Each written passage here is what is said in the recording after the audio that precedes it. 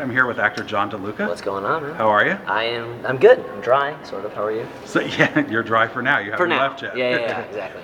now, uh, why don't you talk a little bit about when you first decided you wanted to be an actor? I know uh, Yeah. kind of got bit by the acting bug senior year of high school. Yeah, exactly. Oh, you're you're brushed up on your on the all bio. things John DeLuca. Wonderful. Um, yes, that is uh, that's correct. You know, ever since I was a kid, I I knew I had an interest in it. Um, but because it wasn't like a traditional job necessarily, I, you know, I kind of like put it in the back of my mind a little bit. And uh, you know, I was in high school, I was an athlete, and I, um, I was more focused on that at the time. But then, yeah, by my senior year, um, the senior class play, the auditions came around, and I was like, ah, I really want to do it, and I just, you know what, I'm gonna do it. Okay.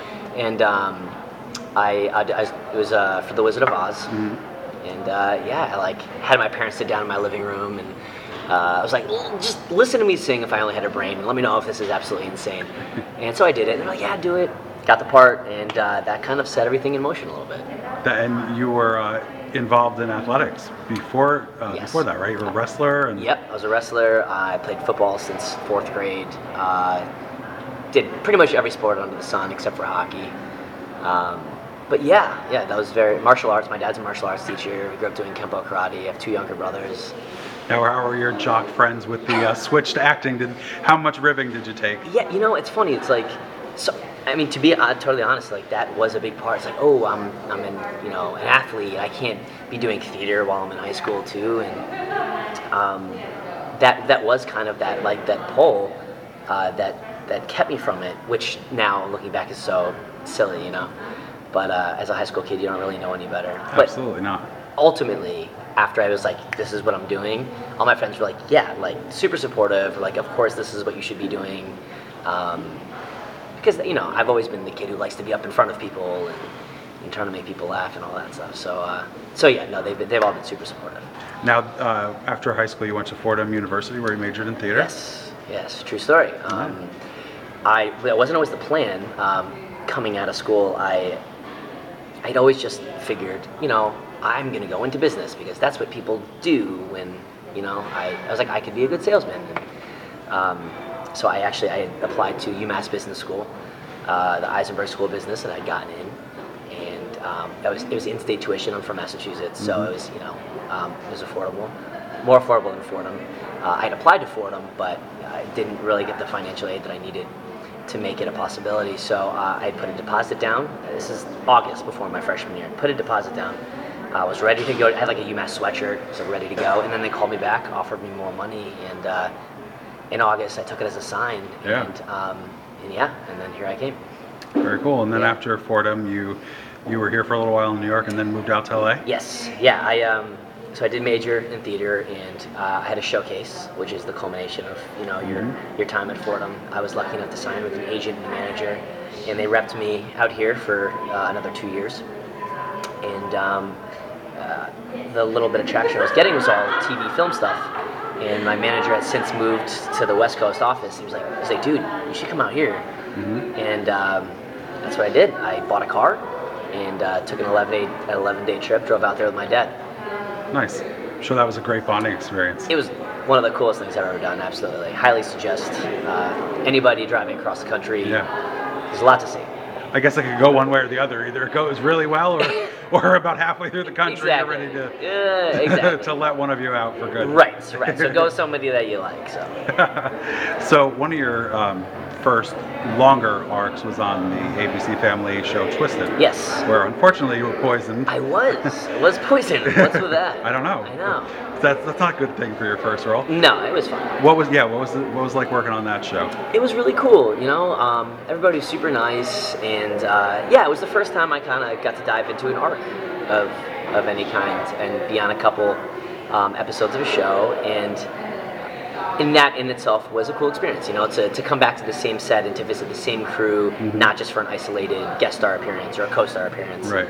Um, and that was a learning, you know, learning experience in itself. But uh, yeah, I, I loved working on the show. It was great. Nice. And sadly, that came to an end, unfortunately, It too did. soon. It did. Um, and then you uh, this little thing called Teen Beach Movie come I've about. never heard of it. I know. Like, what's that about? So, Teen Beach Movie came about. Um, I had previously worked with Disney Channel on um, my first job in LA. Actually, was a guest star in Wizards of Waverly Place, where um, where they uh, Selena and company travel back in time to the 1960s, and I play a uh, basically a greaser character who's like the cool kid in school, Uh huh. kind of uh, butchy-esque, which is my I was gonna say character it probably came. Yeah, I was gonna say it probably came in handy when you auditioned. So um, after that, I, I ended up booking a series regular on a Disney pilot um, with Maia Mitchell Okay. and with Mollee Gray. Both ended up doing Teen Beach with me. Um, and uh, the pilot experience was really great. I worked very closely with all the producers. And right after that is when Teen Beach started filming. So um, that's when they brought me in. They're like, oh my God, you might be good for this thing. And um, I went in and I auditioned. Uh, got the part, and they said, pack your bags. You're leaving in two days for Puerto Rico for two months. And Not a bad place to go shoot. no, no, not at all. It was a very surreal moment, very exciting, and uh, I don't think any of us really knew what we were getting involved with. Much like those other Disney-esque musical movies. Mm, yes. Once you do the first one, you never know how big it's gonna end up being. I guess so, yeah. And I, I wasn't even thinking about that, you know. I, right. um, in my mind, I still had this Disney pilot that I did, and everybody seemed to be so in love with. Um, ultimately, that ended up not going, and this became my kind of my main thing with Disney. Funny enough, but uh, but yeah, it's been a crazy ride. And then the sequel just premiered uh, last week. It did. Uh, a little different uh, premise to it. Yeah, uh, different and, And similar. in the same sense. But yes, in the first movie, two modern day get characters get stuck in um, a movie. In the sequel, the movie characters get stuck in modern day. So it's flip flop. Flip flops.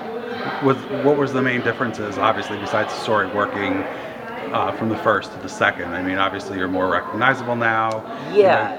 know, You were more comfortable, obviously, this time around because you had done it before. Yeah, you know, uh, it, it was a different experience, and you mentioned being more recognizable. And because when we showed in Puerto Rico for the first one, you know, people knew who Ross was, um, but that was pretty much it. You know, the rest of us, um, no one really knew who we were yet. But uh, this time around, you know, we get to the airport and there's tons of kids there who have been waiting, you know, 15 hours to, you know, just until our plane unloaded and we immediately were like, oh, it's going to be different this time around. Yeah. And uh, even just shooting on location, you know, we shot on um, mostly a private beach, but we did some scenes on a public beach, which was kind of hectic. Right, right. Um, But uh, other than that, you know, the, the songs and everything, the dances are a lot bigger and faster and a little bit crazier. And uh, we have a couple new really great characters that we added to the story and to, you know, I think fans will, uh, will really love. Um, but yeah, we were, in, we were in the same location. We were in Puerto Rico again, and uh, we we kind of knew all the spots to go and all the restaurants and all that stuff too. So that was cool. Cool. Yeah, and you've recently become involved in something called the Boot Campaign. Why don't you talk a little bit about that? Yeah. So uh, the boot campaign, uh, my manager um, had another client who was who had gotten involved with it, and she thought it's something that might, might be down my alley. And um, I went. I did what's called a boot shoot, where uh, that's what they call it when they uh, they have a bunch of people come in who are who are going to end up supporting the campaign. Um, you uh, you, you take a picture with your with your boots on, essentially, and um, it's a it's a, a really great um, organization that uh, basically supports veterans uh, once they once they get back from from serving wherever they're serving. Um, and I, I mean, it's I just think it's a great cause because uh, I think it's easy to forget a how many people we have serving overseas or you know on our shores. Um, and not only how many we have, but like, you know, they come back and it's it's not always easy for them to get jobs or, Right. you know, uh, I met a couple really cool, really cool guys who, you know, had lost a leg or two legs or lost an arm, and it's about kind of reintroducing them back, um, and whether it's getting them jobs and, and, and all that stuff. And it's yeah, it's a really great company. I had a great time shooting with them. And now, when you were in high school doing The Wizard of Oz, did you ever think you would get to the point where you're actually the spokesperson and the voice of a such a serious thing, and be able to be the voice and use your celebrity for such a good cause?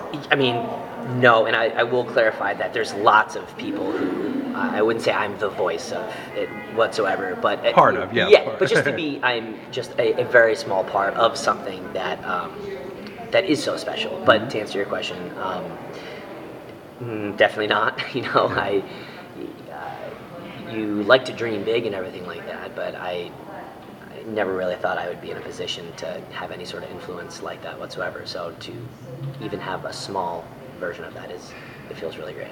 Well, it's really cool when you know people who have established themselves and you know the younger generation of actors gets involved in, in you know causes that mean something to people. So it's Absolutely, phenomenal. yeah. So you have a project coming out in July. Uh, Yeah, yeah. It's, talk a little uh, it's called that? Staten Island Summer. Um, it's uh, it's a project I'm really excited about. It's uh, it's a little bit different than um, things I've done before.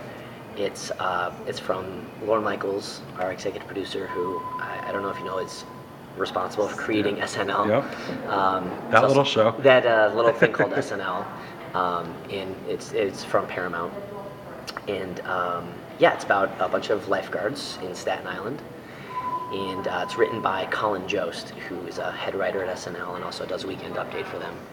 Um, and it's kind of loosely based around his life growing up in Staten Island as a lifeguard. okay. And um, yeah, so it centers around two main kids um, who decide to be lifeguards their last summer before college. And um, and I'm one of the kind of wacky character lifeguards that surrounds those two. Um, it's a lot of fun. Really, really funny, and I mean, just some really insanely funny, talented people in it that I felt so lucky to be involved with. Very work cool. with.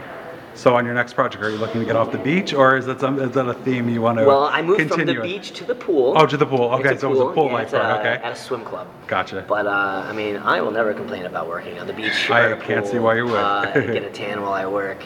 So, um, so not necessarily. I think if you know, if uh, there's something at a beach or at a pool, and it's great work with great people, I'm in. Sign you up, right? Yeah, exactly. Uh, what's one piece of advice that you were given um, that has really stuck by you, whether it was a co-star, whether it was even a parent, you know? Um, it's going to be hard to distill that down to one piece of advice, but I do have something that sticks out of my head, and it was while I was a student at Fordham. Um, we had the actor Willem Dafoe come in and, uh, and talk to some of the theater majors, and um, and he said something that stuck out. He said, "Figure out," and this is kind of applicable to all walks of life, not just as an actor, but I think that he said it was important to figure out what you want to do in life, what you're passionate about, what you love to do. Figure that out, acknowledge what that is for yourself, and then get as close as you possibly can to it in the world, wherever that is, wherever that takes you. And then whatever is supposed to happen will happen. And I thought that was cool because for me, it's like looking back at like my trajectory it was kind of like mm, don't don't go to UMass, go to Fordham because that's where it's closer to everything. And don't don't minor, don't major in anything else. It's like this is what you want to do, major in this.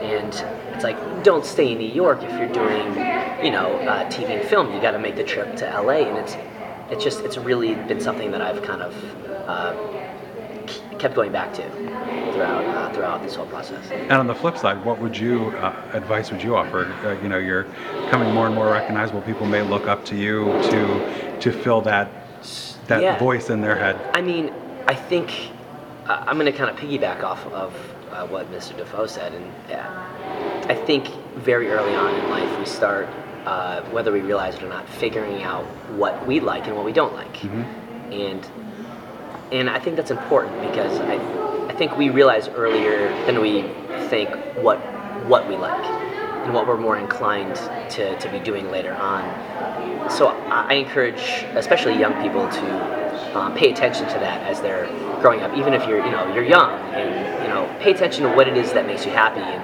and uh, that kind of what keeps you going. Because in in in pursue that, no matter what it is, no matter if you think it's not cool or if it's not uh, normal, or or if it is normal, whatever it is, pay attention to that uh, and, and nurture it because it, it means something. And and keep doing it until it doesn't feel right anymore. Awesome advice, John. Thank you so much for taking time out to Thank you so me. much for having me. It was a pleasure. Thank Pleasure. you.